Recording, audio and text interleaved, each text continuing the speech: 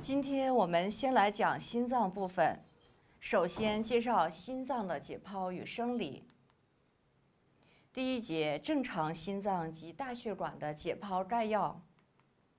先介绍心包，心包是包裹心脏和出入心脏的大血管根部的圆锥形纤维浆膜囊，分为内外两层。外层为纤维心包，内层是浆膜心包。浆膜心包又分内外两层，外层是壁层，内层是脏层。脏层又称为心外膜。脏层和壁层之间潜在的腔隙称为心包腔。好，我们再来学习一下。心包窦包括，首先，心包窦包括心包横窦、心包斜窦和心包前下窦，这个大家需要记一下。浆膜心包分脏壁两层，脏壁两层反折处的间隙称为心包窦，主要分为心包横窦、心包斜窦和心包前下窦。好，介绍一下心脏和大血管。首先介绍一下心脏。心脏的位置位于胸腔内，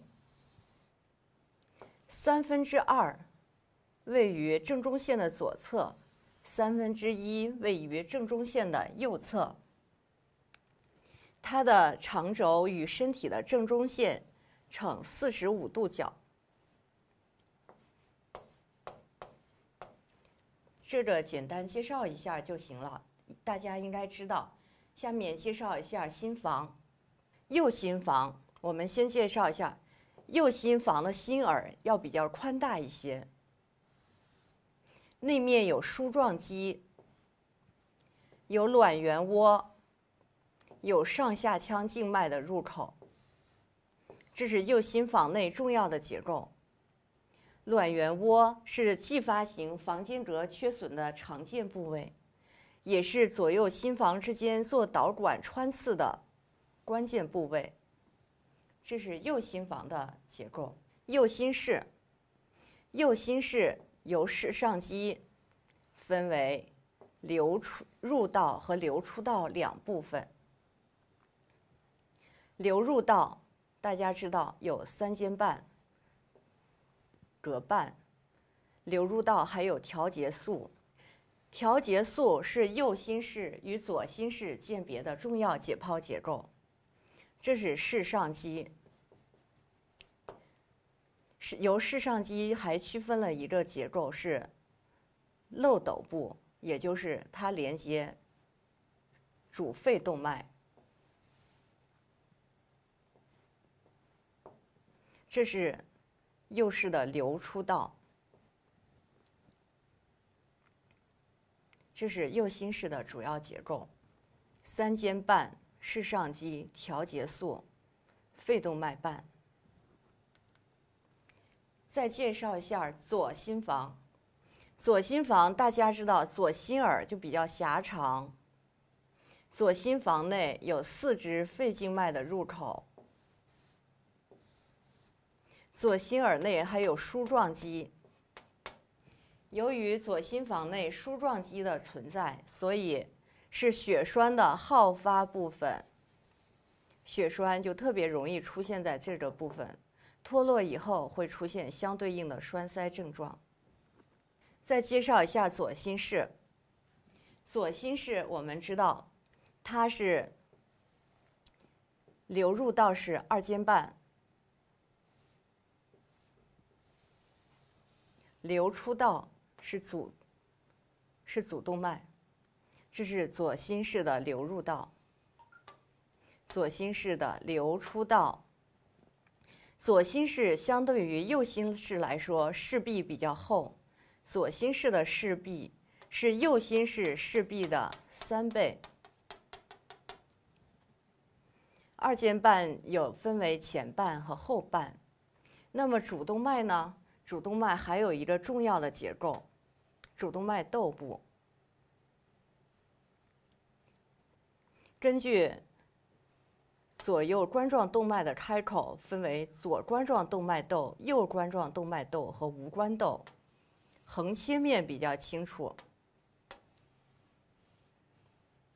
右冠状动脉、左冠状动脉相对应的右冠状动脉窦、左冠状动脉窦，这是无冠窦。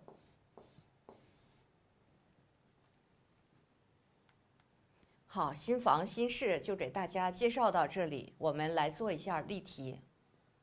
关于心脏的视上肌，叙述正确的是：首先，位于右房室瓣下方，这肯定是不对的；位于左心室流出道室间隔侧，这也是不对的；为左心室流入道与流出道的界限，左心室流入道与流出道的界限是二尖瓣的前叶与主动脉瓣。它们之间的纤维连接，为右房室口与肺动脉口之间室间隔上的隆起。这道题是对的，答案。答案是 D。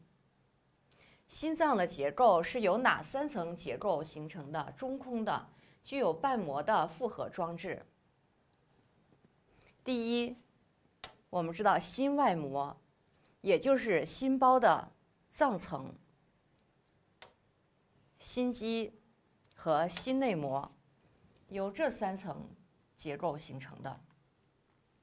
看，心脏是由心外膜、心肌和心内膜三层结构形成的中空性的、具有瓣膜复合装置的肌性器官，近似一个圆锥形的空心球体，但前后稍扁。好，关于心底的描述正确的是，我们来看第一题答案。由左右心房和肺动脉及主动脉组成。这道题的答案并不全面。心底朝向右后上方，由大部分左心房及小部分右心房构成，这是正确的。正确答案是 B。